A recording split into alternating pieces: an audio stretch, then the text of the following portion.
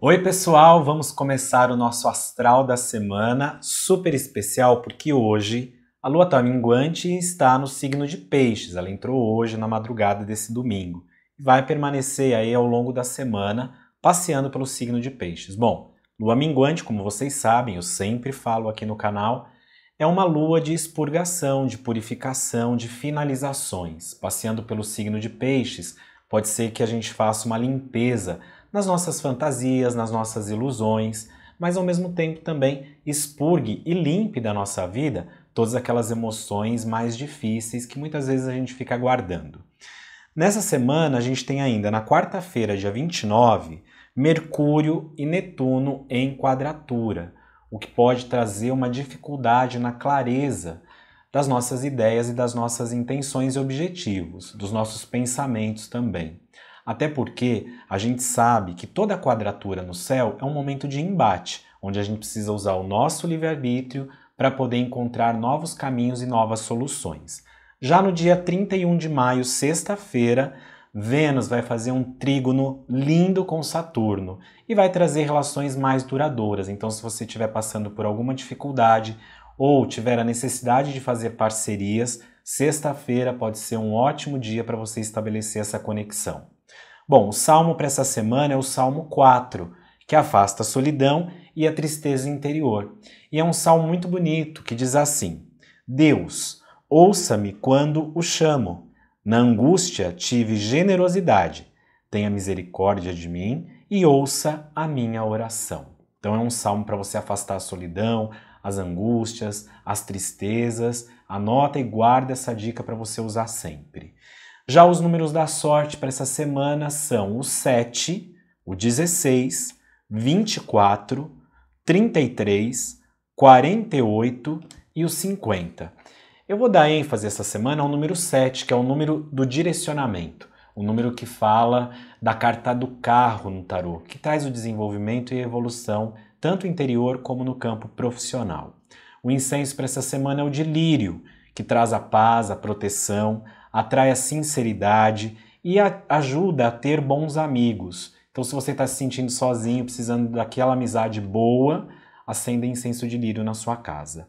Cor da semana é o rosa, que é o amor incondicional, o equilíbrio dos nossos afetos, equilíbrio os nossos sentimentos, além de trazer a generosidade, a felicidade afetiva e também atraindo bons sentimentos e bons relacionamentos para a nossa vida. A pedra dessa semana, jaspe, aquela pedra linda que acalma os temores da vida, elimina a raiva, atrai dinheiro, prosperidade e favorece os ganhos. Uma coisa importante que poucas pessoas sabem do jaspe, principalmente o jaspe vermelho, é que é uma pedra que ajuda muito as mulheres grávidas para ter uma boa saúde, para ter uma boa gravidez e ter um bom parto também. Então, mamães que estejam esperando aí pelos filhos, é bom vocês usarem o jaspe vermelho como amuleto de proteção. Antes da gente fazer a nossa carta da semana, quero convidar vocês, porque nos dias 29 e 30 de junho vai acontecer em São Paulo o meu primeiro curso presencial do Tarô dos Anjos e você, claro, não pode ficar fora dessa. São pouquíssimas vagas, é um curso de dois dias e vai acontecer num espaço em São Paulo, pertinho do metrô Trianon, do metrô Brigadeiro, na Avenida Paulista. É a primeira vez que eu vou dar esse curso, tenho preparado ele ao longo dos últimos tempos. Ele é baseado no meu último livro, O Tarô dos Anjos. Então, você que gosta dos anjos, que gosta do tarô, que já viu é, esse tarô que eu uso na televisão, aqui no canal, nas redes sociais, você vai aprender a jogar esse tarô para você e para os outros, além de ter uma vivência linda com o nosso anjo, com o seu anjo da guarda e com o nosso anjo da guarda de uma forma geral.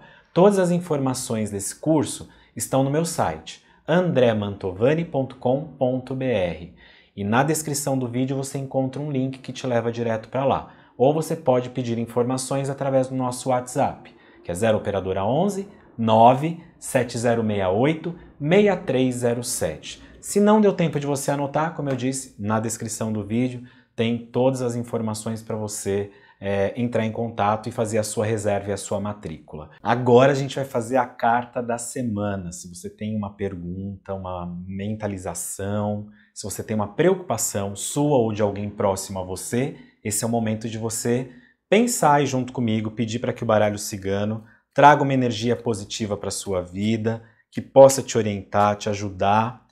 Então a gente vai formar juntos essa egrégora de energia positiva e você vai poder pensar e meditar aí comigo. O que será que o baralho cigano traz para gente?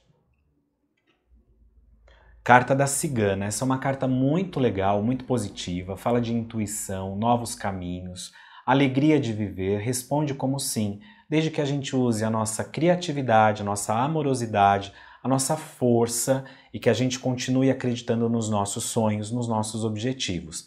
Tenho certeza que esta é uma carta que traz muitas mensagens positivas, muitas mensagens alegres e traz positividade para o que foi perguntado com resultados rápidos. Olha que bacana, mas não deixe de, de é, brotar aí na sua alma, na sua vida, a alegria de viver, que vai ser fundamental para que tudo isso aconteça.